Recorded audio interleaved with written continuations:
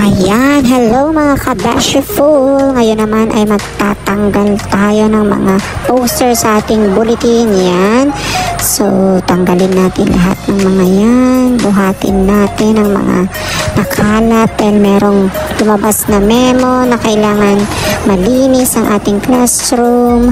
So, tinanggalan natin yung mga posters. Ayan, pak. Mm, tignan mo naman yan, mga bashiful. Pinuhat ko ang mga mabibigat na yan. Tignan mo naman. Ayan, tanggalin natin yung mga kalat-kalat na yan. Kalat-kalat na yan dahil baka mamaya pumasok si Madam Madam Principal. Ayan. Para makita na maganda naman. O, diba? So, kailangan magpakita ang gilas. Ganun. Okay, so tanggalin natin yung mga posters na naiwan. Yan, tapos ayusin natin. O, yan pa. Mm, may ganun pa. And then, yan, ikot-ikot pa yan. Pa ikot pa more. Yan, natanggalan natin mga bashiful. Malinis na. Yan, next naman mga kabashiful ay magkakabuev tayo. So, yan. Tingnan mo naman may choreography niya, o, diba? To the left, to the right. O, Marin Rivera lang ang char. So, yan mga bashiful. Tingnan nyo naman. Dapat kailangan pagdaan niya ni Madam. Maganda dapat. Ganon. So, yan. Para naman magpa-impress ba? Yan. So, kailangan maayos para walang kalat. Yan, pati sa likod ng door, kailangan matanggal. Tanggalin natin lahat yan, mga kalat, mga negativity na yan. Malas yan sa classroom pa. Ngayon naman punta tayo sa loob ng aking classroom. Tingnan mo naman kasi ang ceiling, mga beshi full. Ang taasas, pwede nang pang cheering squad. Pwede nang itos-tos ang mga chi cheer dyan. Char.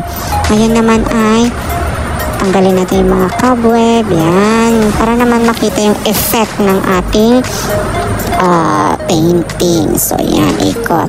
Yan, dito naman tayo sa other side para pag pumasok si madam, wow, ganda, best. Ganon.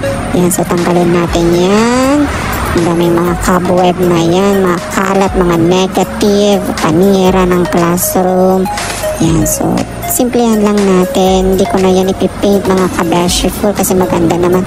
Tanggalin lang natin yung mga cobweb. Diba, yan. Dito sa left, right, yan. Pasok mo, in, out. Yan, pati sa side.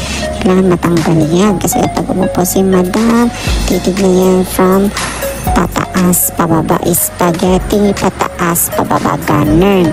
So, ganyan. So, tanggalin natin. Ayan, tumingin pa sa video. Ikot lang mga bashful. Dito naman tayo sa bandang left.